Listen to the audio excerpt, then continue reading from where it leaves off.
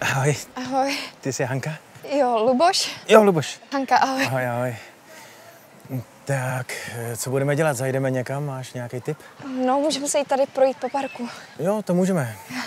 A potom můžeme zajít někam na zahrádku, dát si pivo a víno, Jo, to bychom mohli dát si víno. cigaretku. Pak další víno a další cigaretku. Já potom zaplatím a půjdeme spolu ožralí, budeme se motat po chodníku. Doprovodíš mě na tramvaj. Tam si dáme ožraleckou pusu, já odjedu a budem si psát.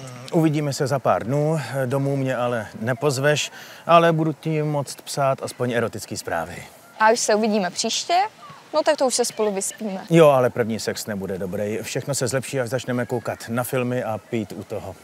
Za chvilku se k sobě nastěhujeme. Nejdřív ale jenom do nějaký malý garzonky. Potom otěhotníš, budeš naštvaná, že jsem ti zničil mládí a kariéru. Já začnu makat, doma moc nebudu, ale aspoň můžu splácet hypotéku.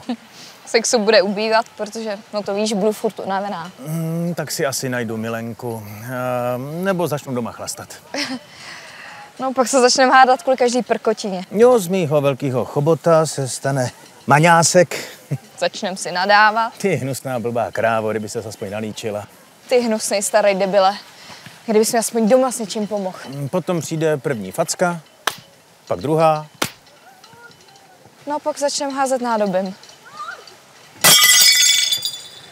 A já s tebe budu muset tahat alimenty. No, ale eh, moc nemám, musíš to ze mě dolovat. Tady je zákaz přiblížení na 100 metrů. No a pak se potkáme, ty budeš úplně ožralá, tak se spolu vyspíme a začneme spolu zase žít. Aby jsme to slepili dohromady, tak mi uděláš další dítě. Tím ale přijdeme o všechny úspory. Pak zestárneme a ty budeš spruzelej dědek. Mm, A ty skončíš v důchodáku, protože já zemřu jako první. Zbytek rodiny bude navždycky rozhádaný kvůli majetku. No tak eh, dáme si pivo nebo víno? No víno. Já si dám pivo.